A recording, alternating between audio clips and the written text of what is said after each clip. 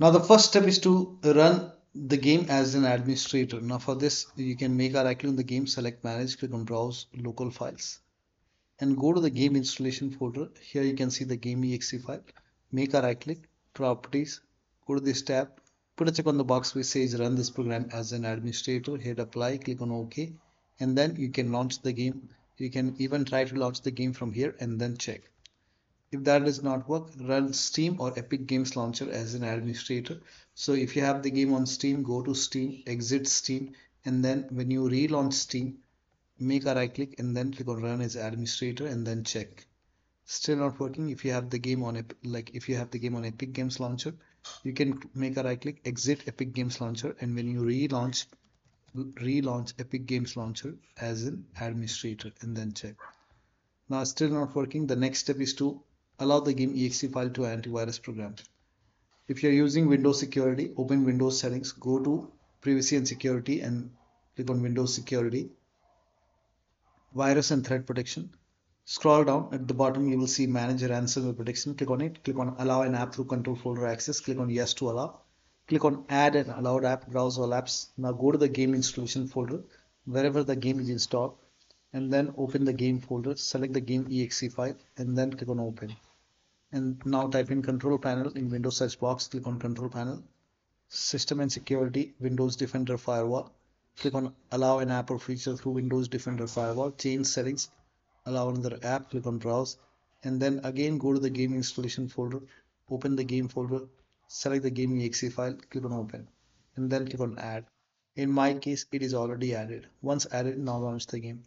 Now if you have any third-party antivirus like if you have Avast Norton, Bitdefender, McAfee, whichever antivirus program you have. Allow the complete game folder to the exception list and the game exe file to the exception list. Allow the game exe file to your antivirus program. Now the next step is to make sure that you have saved games folder in this location. Now for this you can open file explorer here and then go to this PC, open C drive. Now open users folder now open your username folder. Now open over here make sure this saved games folder is there. It exists. If you don't have saved games over here make a right click create uh, click on new and then select folder.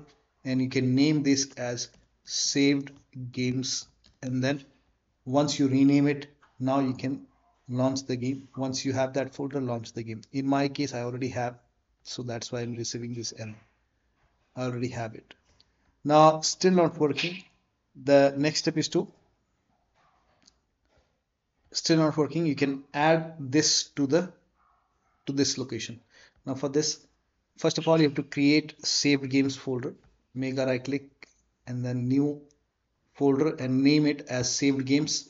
And then once you name it open saved games and you create a folder named frontier development. So if you don't have this like I'll show you.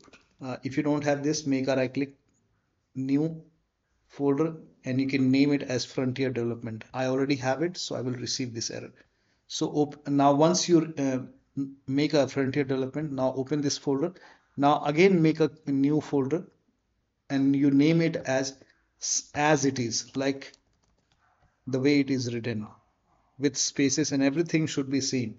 New folder and you can name it as Jurassic World Evolution 3 and then you can make this folder and then you can relaunch the game. I already have it so I'm receiving this error. So now once you have this folder now relaunch the game and then you can check. Next step is to create a new admin local user account without any space or special character. So for this you can open Windows settings go to accounts and go to uh, other users over here and then click on add account.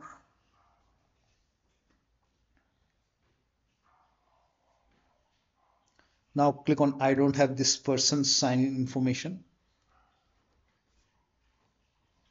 And then click on add a user without a Microsoft account. You can create a new user account. Keep it simple like do not put any special character over here do not put any kind of space over here.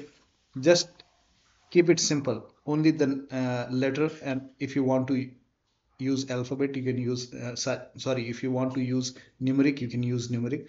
But do not put percentage like sign and all that. Do not put any special character. If you want a password you can enter the password. If you don't want leave it blank and then click on next. This is just an example. Once you create it click on it change account type and set is as an administrator over here. Click on ok. And then you can you have to restart. Your computer or log out. Your computer and then log into the new account so you can log or restart. And then you have to log into the account which you have created. And then you have to install the game and then relaunch the game and then check. Next step is to if you're using OneDrive you can uh, like if OneDrive is open sometimes the OneDrive is hidden over here. You can make a right click and then quit OneDrive. This is just an example. I don't have it running. Close OneDrive and then check. If you want to use it make sure that you're logged in. Now the next step is to verify the game file. Now make a right click on the game select properties go to install files tab and then click on verify integrated game files. Once the verification is complete check. So one of the steps shown in this video should help you to fix the saving issue. So that'll be all. Thank you so much for your time and please like this video and subscribe to my channel.